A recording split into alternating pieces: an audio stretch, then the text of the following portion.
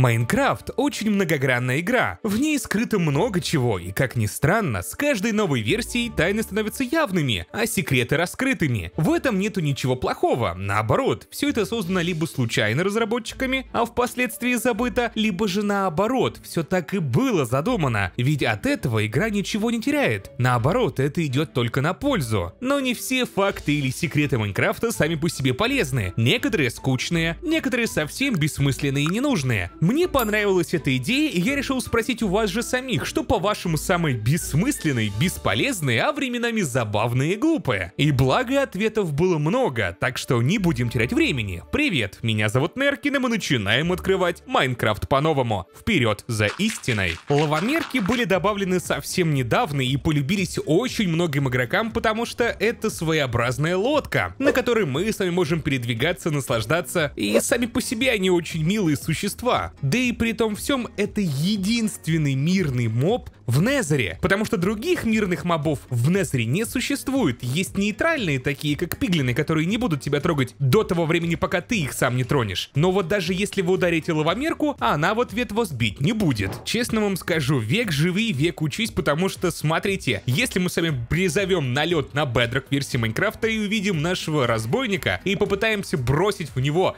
белый флаг, держи, друг, возьми белый флаг, то он дропнет вместо него наш полноценный арбалет, и все он станет полностью мирным. Это касается всех разбойников, которые с арбалетами, ты им бросаешь, и это можно трактовать по-разному. То есть белое знамя — это белый флаг, когда ты показываешь, что ты сдаешься, и при этом всем разбойники слишком как-то мирно себя ведут и бросают свои оружие. Ну это мега странно, на Джаве такого нету, но это прикольно. Ой, люди добрые, помогите, что же мне делать? Нахожусь очень высоко над землей. А если быть точным, то ровно 100 блоков от земли. И что же в этом случае мне делать? Все очень просто. Прыгнуть на блоки сена.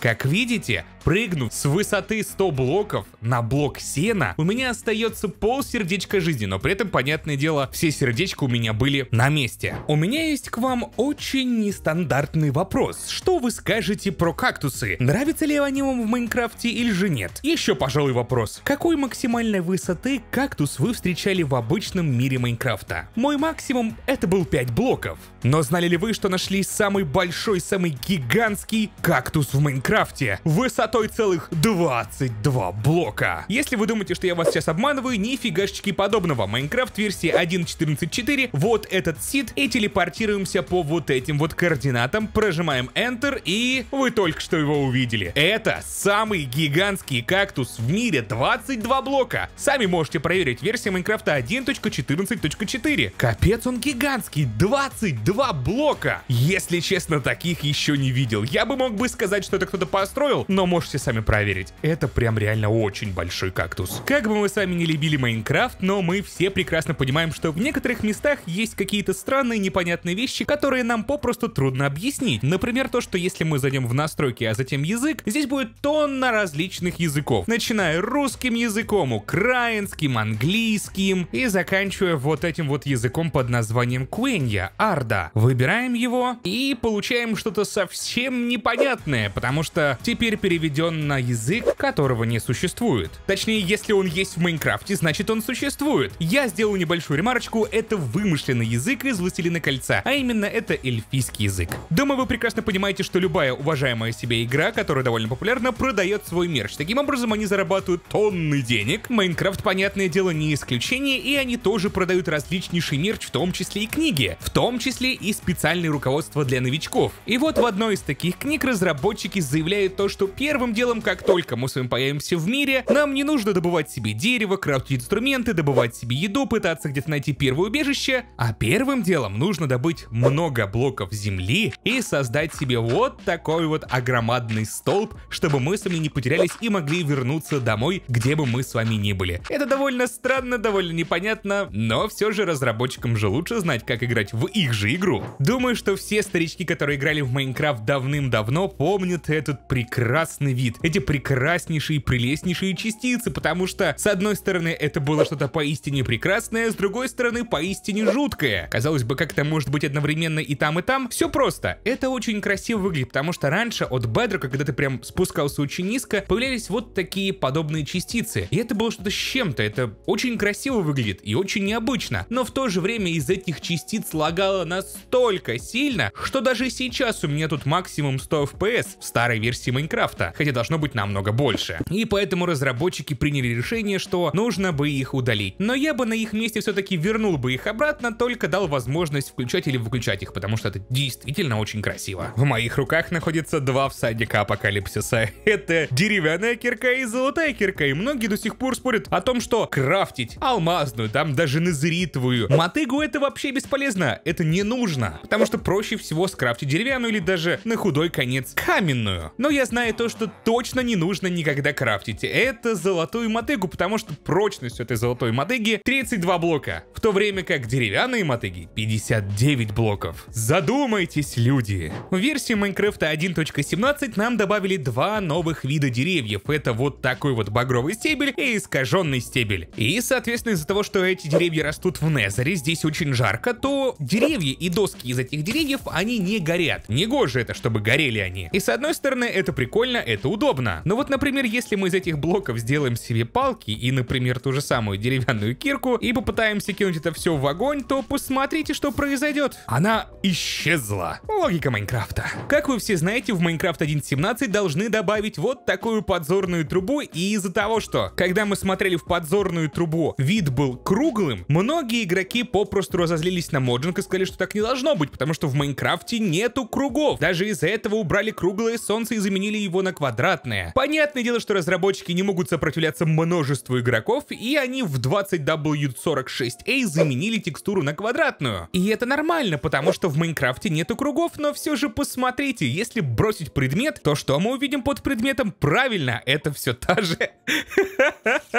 круглая тень, про которую мы говорим. Круги в Майнкрафте все же есть. Посмотрите прямо сейчас на эту картину и подумайте, в чем же подвох? К чему же я все-таки клоню? Самые сообразительные сразу же поняли то, что деревянной киркой мы спокойно можем добыть дерево. Каменной киркой мы спокойно добываем камень. Железной киркой мы спокойно добываем себе железо. Алмазной киркой тоже спокойно добываем себе алмазы. То же самое и с незритом. Незритовой киркой спокойно добываем древние обломки, материала из которого вообще создается незритовая кирка. Но что же насчет золотой кирки и золота? Как думаете, получится ли у нас это сделать или же нет?